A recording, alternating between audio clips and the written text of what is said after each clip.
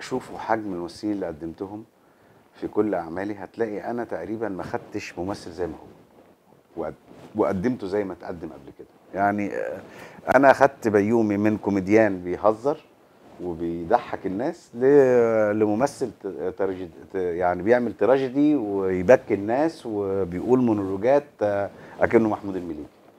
لما خدت عمرو عبد الجليل من أفلام اسكندرية كمان وكمان وكان بيقول آه، تراجيدي أنا خدته خليته كوميديان. يعني أنا عمري ما خدت ممثل زي ما هو كده بيعمل دور الفيلن هخليه دور الفيلن بيعمل دور الرومانسي هخليه يعمل دور رومانسي.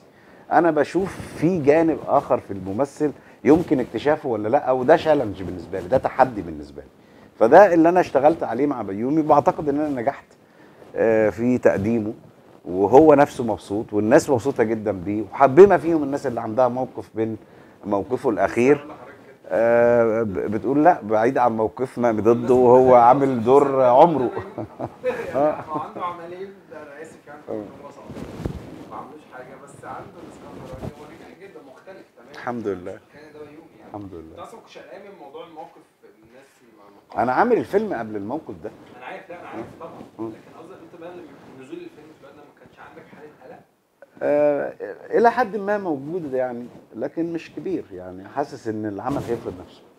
وتمثيل الراجل هيفرض نفسه وهيغطي على أي حاجة وقتية اتخذت موقف منه